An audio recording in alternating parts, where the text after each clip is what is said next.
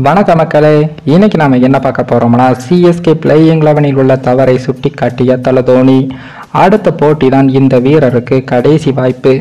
தல தோனி எடுத்த அதிரடி முடிவு. அதாவது ஐபிஎல் இரண்டாயிரத்தி இருபத்தி நான்காம் ஆண்டுக்கான சீசனில் சிஎஸ்கே அணியானது பதினான்கு கோடி ரூபாய் கொடுத்து நியூசிலாந்து வீரர் டேரில் மிச்சலை வாங்கியிருந்தது. இதுவரை ஐபிஎல் தொடரில் வெறும் இரண்டு போட்டிகள் மட்டுமே விளையாடிய டேரில் மிச்சல் அவர்கள் ராஜஸ்தான் அணிக்காக முப்பத்தி மூன்று ரன்களை மட்டுமே சேர்த்து இருந்தார். ஆனால் டேரில் மிச்சலின் வாழ்க்கையில் மிகப்பெரிய திருப்பத்தை ஏற்படுத்தியதே உலகக்கோப்பை தொடர்தான். இந்தியாவில் நடைபெற்ற இந்த தொடரில் டேரில் மிச்சல் ஐநூற்றி ஐம்பத்தி இரண்டு ரன்களை குவித்து இருந்தார். சுழற்பந்து வீச்சை அபாரமாக எதிர்கொள்ளும் திறமையை உடைய டேரில் மிச்சல் சிஎஸ்கே அணி வாங்கியது. ஆனால் மிச்சல் சிஎஸ்கே வைத்த நம்பிக்கையை காப்பாற்றினார் என்று கேட்டால் அது இல்லை என்றுதான் சொல்ல வேண்டும். இதுவரை ஆடிய ஆறு போட்டியில் விளையாடியுள்ள டேரல் மிச்சல் அவர்கள் மொத்தமாக வரும் நூற்றி முப்பத்தி ஐந்து ரன்களை மட்டும்தான் நடத்தியிருக்கிறார். அதிகபட்சம் முப்பத்தி நான்கு ரன்களும் சராசரி இருபத்தி ஏழு ரன்னும் ஸ்ட்ரைக் ரேட் நூற்றி இருபத்தி ஐந்து என்ற அளவில் மோசமானதாக இருக்கிறது.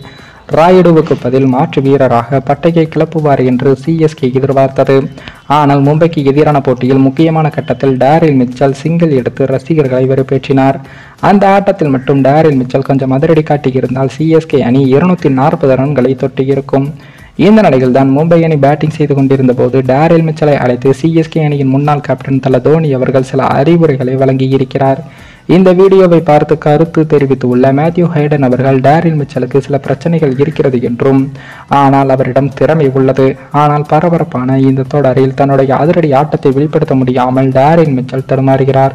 இதனை பார்த்த தல தோனி அவர்கள் அவரை அழைத்து முதலில் களத்தில் அமைதியாக இருக்க வேண்டும். அதற்கு மூச்சு பயிற்சி செய்ய வேண்டும் என்று தல தோனி அவர்கள் செய்து காட்டியதை சுட்டுக்காட்டினார் நெருக்கடியான சமயத்தில் நன்றாக மூச்சை இழுத்துவிடும் போது அமைதியான மனதில் ஏற்படும் என்று ஹைடன் அவர்கள் குறிப்பிட்டிருந்தார். அதன் பிறகு பேட்டை எந்த கையால் பிடித்து சிக்ஸர் அடிப்பதற்கான பவரை உருவாக்க வேண்டும் என்பது குறித்து தோனி டாரில் மிச்சலுக்கு சொல்லி காட்டியதை மேத்யூ ஹைடன் அவர்கள் ரசிகர்களுக்கு விளக்கினார். மிச்சல் செய்த இந்த இரண்டு தவறை தோனி சுட்டிக்காட்டி பேசியதன் மூலம் அவர் அடுத்த போட்டியில் பட்டையை கிளப்புவார் என்றும் எதிர்பார்க்கப்படுகிறது. இனி சிஎஸ்கே அணி வருகின்ற வெள்ளிக்கிழமை லக்னோவுக்கு எதிராக அதன் சொந்த மண்ணில் விளையாட உள்ளது என்பதும் குறிப்பிடத்தக்கது. மேலும் இந்த வீடியோ ஏதோ ஒரு விதத்தில் உங்களுக்கு பிடித்திருக்கும் என்று நினைக்கிறேன். நம்ம சேனலுக்கு புதிதாக வீடியோ பார்க்கிறீர்கள் என்றால் மறக்காமல் சப்ஸ்கிரைபர் செய்துவிட்டு பாருங்கள். இன்னொரு வீடியோவில் சந்திக்கும் வரை நான் உங்கள் தமிழ்